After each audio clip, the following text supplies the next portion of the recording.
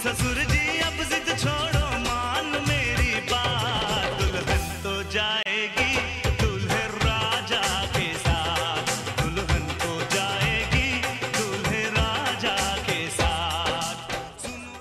बारात की रवानगी से पहले उमर अकमल की वालदा और भाभीियों ने रवायती रस्में अदा की, जबकि गैरिजन क्लब पहुँचने पर अकमल बरादरान ने खूब भंगड़े डालकर जश्न मनाया।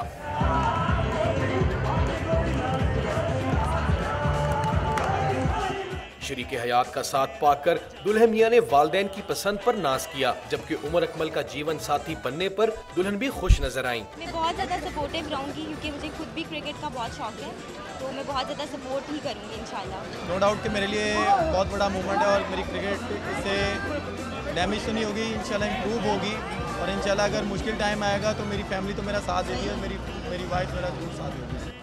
सबक क्रिकेटर अब्दुल कादिर ने अपनी बेटी की रुखसती पर अल्लाह का शुक्र अदा करते हुए जोड़े के लिए नेक तमन्नाओं का इजहार किया।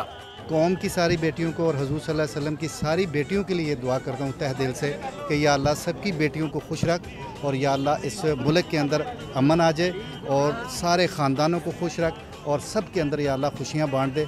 तकरीब में अजीज़ो अकारिब के साथ साथ पी सी बी के चेयरमैन नजम सेठी, कप्तान मिसबाउल हक, क्रिकेटर इंजमामुल हक इजाज अहमद, सबक चेयरमैन तोकीर जिया और कौमी टीम के खिलाड़ी भी शरीक हुए। कैमरामैन शेर खान के साथ आसिम बट डॉन न्यूज़, लाहौर।